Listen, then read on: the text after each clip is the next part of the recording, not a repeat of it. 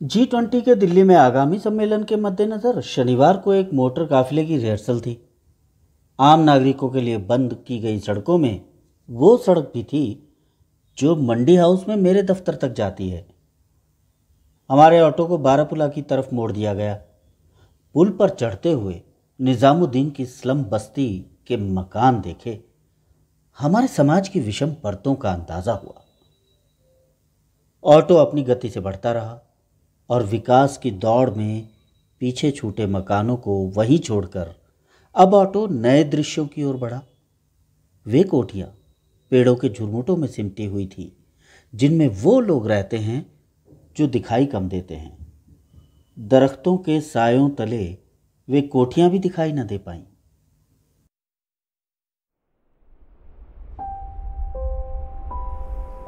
बीच बीच में कुछ ऊँचे मकान हालाँकि दिख जाते रहे। एक आध झलक ऊँचे मकानों की पाकर हम आगे बढ़े। हमें दिखा मकबरा अब्दुल रहीम खान खाना का। उनका एक दोहा सुनिए, जो मैंने हिंदवी वेबसाइट से पढ़ा है। ए रहीम दर दर फिर रही मांगी मधुकरी खाही, यारो यारी छोड़िए। वे रहीम अब ना ही तिरंगे को देख राष्ट्रवादी भाव से आगे बढ़े तो हुमायूं का मकबरा नज़र आया, जो अब टूरिस्ट अट्रैक्शन है।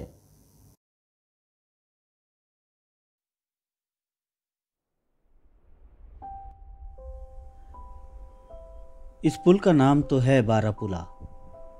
2010 में शीला दीक्षित सरकार ने इसे बनवाया था। राष्ट्रमंडल खेलों के समय, दिल्ली की ट्रैफ़िक समस्याओं के समाधान के लिए, और साथ ही एथलीट्स को एक जगह से दूसरी जगह आने जाने में दिक्कत ना हो, इसके लिए भी इस पुल को बनवाया गया था। लेकिन एक असल बारापुला, यानी कि एक हिस्टोरिक, ऐतिहासिक बारापुला एग्जिस्ट करता है इस पुल के ठीक नीचे, निज़ामुद्दीन के पास ही। ये पुल तो रिंग रोड को जोड़ता है। आईएनए तक चला जाता है रिंग रोड से। लेकिन वो बारह पुला 200 मीटर लंबा भारतीय पुरातत्व सर्वेक्षण द्वारा राष्ट्रीय धरोहर की एक महत्व की एक निर्माण कहें या इमारत कहें घोषित किया गया है। हम निज़ामुद्दीन को क्रॉस करके बारापुरा पर चलते हुए अपने बाएँ हाथ को सराय काले खां देख रहे थे और अब मुझे दाहिने हाथ पे गुरुद्वारा बाला साहिब नज़र आया। गुरुद्वारा बाला साहिब के सामने ही मेरा घर है। ये वही जगह है जहाँ से मैं ऑफ़िस के लिए चला था। जब हम बारापुला से नीचे उतरे तो मुझे एक और निर्माण कार्य होता नज़र आया, जो पिछले कुछ समय से मैं देख रहा हूँ, लगभग एक डेढ़ साल से। ये दिल्ली से मेरठ जाना इस निर्माण कार्य के ज़रिए बहुत तीव्र गति से जाना संभव हो जाएगा। संभवतः इसको आर आर टी एस कहते हैं। रैपिड रेल ट्रांसपोर्ट नेटवर्क कुछ ऐसा ही नाम है। जब इसके बारे में मुझे पुख्ता जानकारी मिलेगी तो मैं नीचे कमेंट बॉक्स में डाल दूँगा।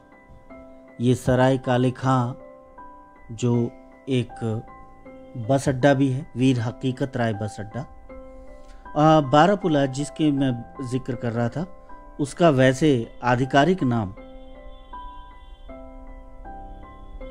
बंदा बहादुर ब्रिज है। बंदा बहादुर के नाम पर उसे बनाया गया है और सराय काले खां के साथ ही जब हमने यू टर्न लिया तो ट्रैफ़िक में से होते हुए मैं उस जगह जा रहा था, जहाँ से मैं आया था, यानी अपने घर की ओर, गुरुद्वारा बाला साहिब के पास।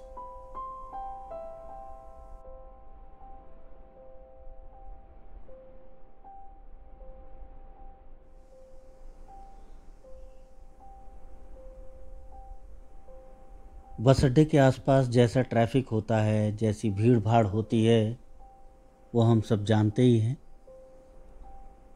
इसी भीड़ भाड़ से लड़ने के लिए लगातार सड़कों को चौड़ा करने का काम चलता रहता है।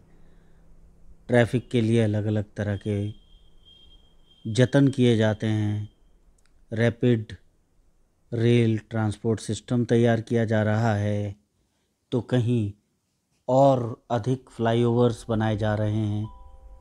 और एक फ्लाईओवर जो अभी कुछ दिन पहले ही बना था, उसके नीचे से ही हमने यू टर्न लेकर हम अपने घर की ओर रिंग रोड पर से ही चलते जा रहे थे।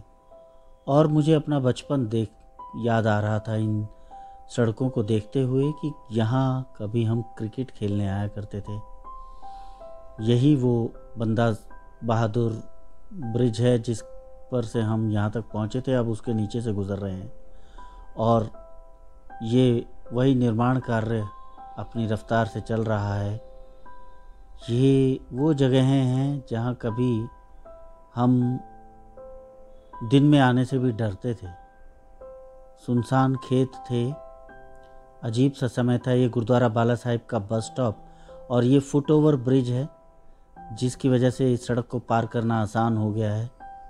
और साथ ही हम बढ़ रहे थे।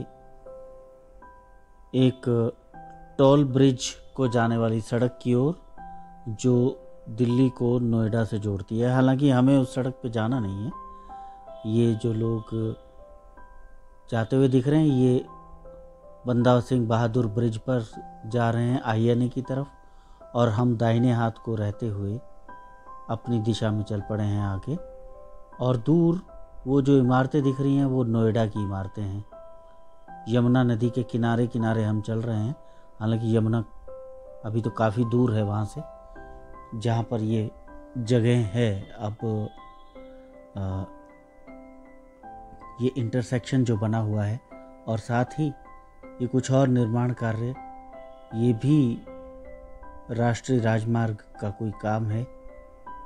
आने वाले दिनों में दिल्ली का नक्शा काफ़ी बदल जाएगा जब ये काम पूरे हो जाएँगे तो। और हमारी गेंदें यहाँ झाड़ियों में गुम जाती थी। ना जाने वो गेंदें अब कहाँ पड़ी होंगी। बहुत पुरानी बातें हैं। साथ के साथ हम चलते जा रहे थे और वो पुरानी बातों को याद करते हुए जा रहे थे।